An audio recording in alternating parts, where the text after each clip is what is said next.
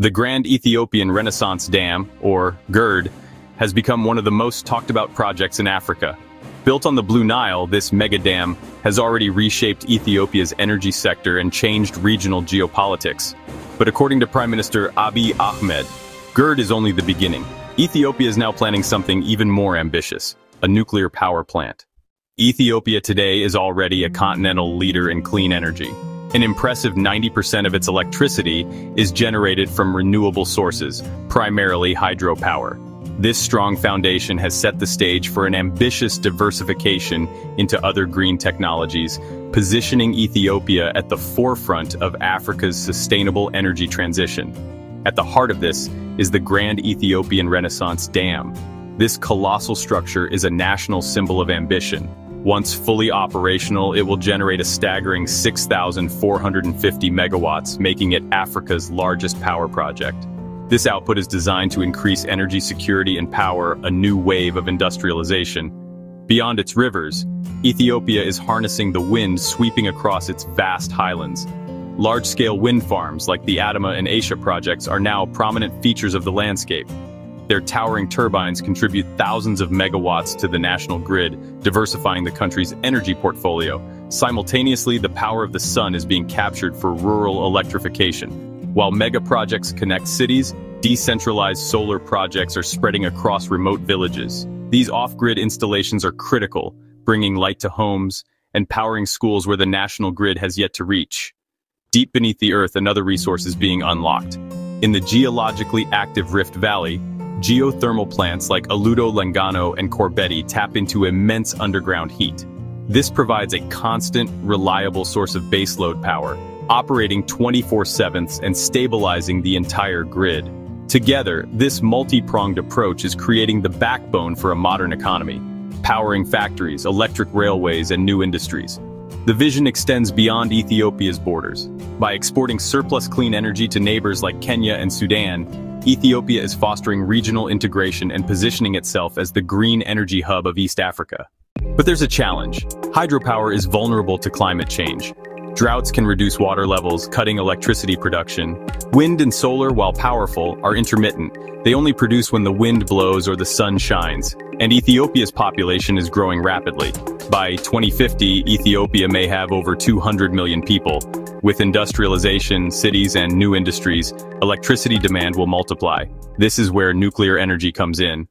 In 2025, as the Grand Ethiopian Renaissance Dam became fully operational, the nation celebrated a monumental achievement.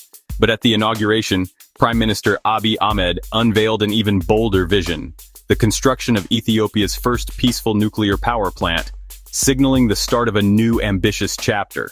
He framed it as the next great megaproject, a successor to the GERD in scale and importance. The goal is complete energy sovereignty, powering Ethiopia's rapid industrialization and meeting the demands of a growing population. It's a strategic move to diversify beyond hydropower, which is vulnerable to climate change-induced droughts. This declaration didn't come from nowhere. The groundwork has been laid for years.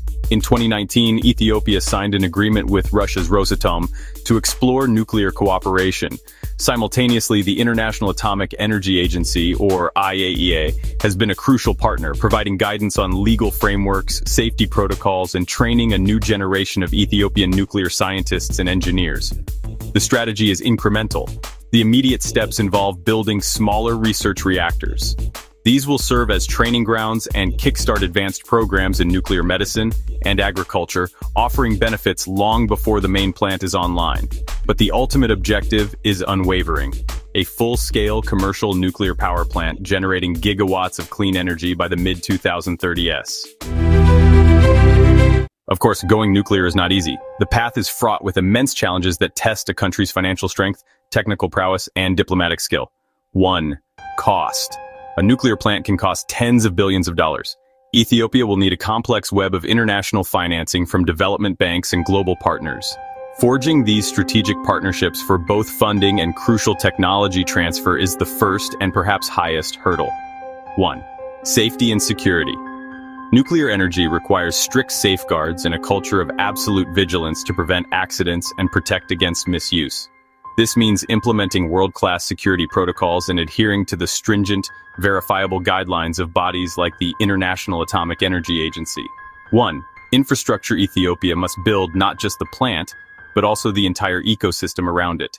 This includes a robust regulatory system and a multi-generational investment in human capital, training a new class of nuclear physicists, engineers, and technicians to manage it safely. 1. Political factors. International concerns, especially in a sensitive region like the Horn of Africa, may complicate the process. Announcing a nuclear program, even for peaceful purposes, draws intense scrutiny.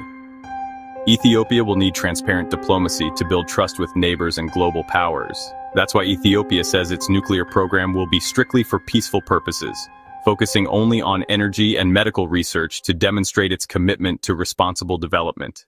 If Ethiopia succeeds, the impact will be enormous. Domestically, Ethiopia will guarantee 24-7 reliable power, supporting factories, railways, and digital industries. This could push Ethiopia into a new stage of industrial growth. Regionally nuclear energy combined with renewables will allow Ethiopia to export massive amounts of power across East Africa.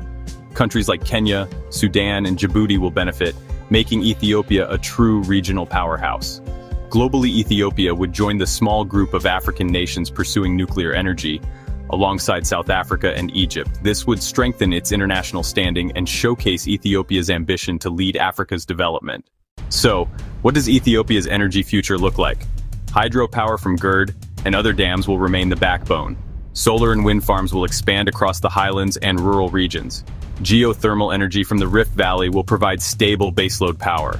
And by the 2030s, nuclear power could rise as Ethiopia's ultimate game changer. The Grand Ethiopian Renaissance Dam proved Ethiopia's determination to achieve big dreams.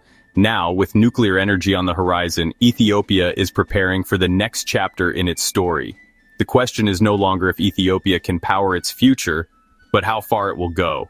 What do you think? Will Ethiopia succeed in building a nuclear power plant, or should it focus only on renewables? Share your thoughts in the comments below.